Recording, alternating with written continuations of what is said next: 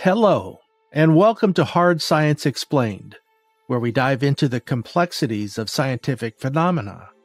Today's topic is the elusive and intriguing particle, the neutrino. The neutrino is a fermion that interacts with only the weak interaction and gravity. You can think of them as mini neutrons or chargeless electrons, but as you'll soon see, that's only a small part of the story.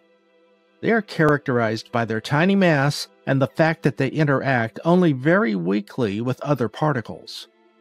Neutrinos are electrically neutral and have a rest mass that is so small that it was long thought to be zero. They do not participate in the strong interaction, and their interaction with other particles via the weak force or gravity is remarkably faint. The rest mass of the neutrino is much smaller than that of other known elementary particles, which makes them extremely difficult to detect. In fact, neutrinos are so light and weakly interacting that trillions of them pass through our bodies every second, yet we don't even notice.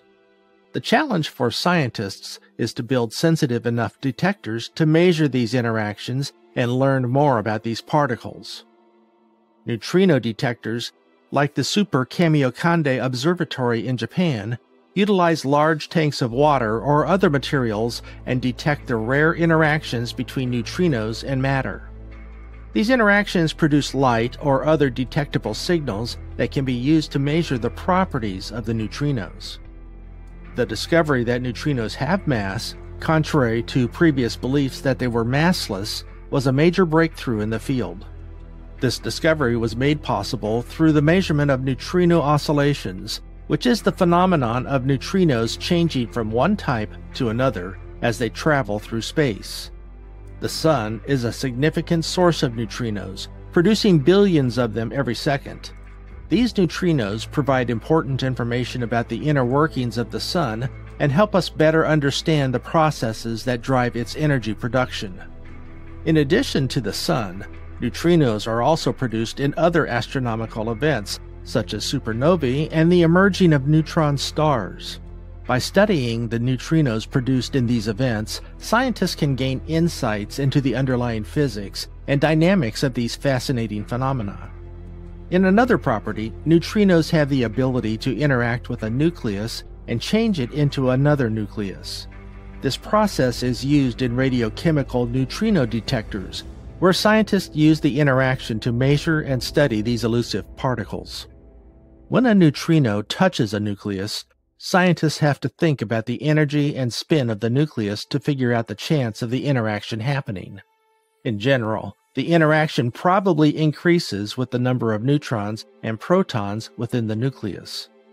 Within a cubic meter of water placed right outside a nuclear reactor, only a few interactions can be recorded. This setup is now used to measure the plutonium production rate of the reactor, serving an industrial purpose. The study of neutrinos is far from over, and many more experiments are planned for the future.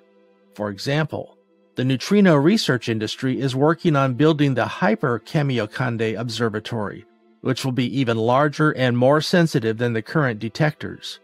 This will enable us to answer some of the most important questions about neutrinos, such as their role in the evolution of the universe and their potential to shed light on the mysterious nature of dark matter and dark energy. That's all for today's episode of Hard Science Explained. Thank you for joining us, and make sure to subscribe to our channel and hit the notification bell so you never miss an episode. But what do you think?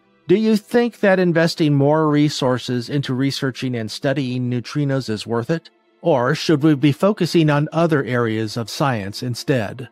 Please let us know in the comments section. Until next time, keep exploring the wonders of science.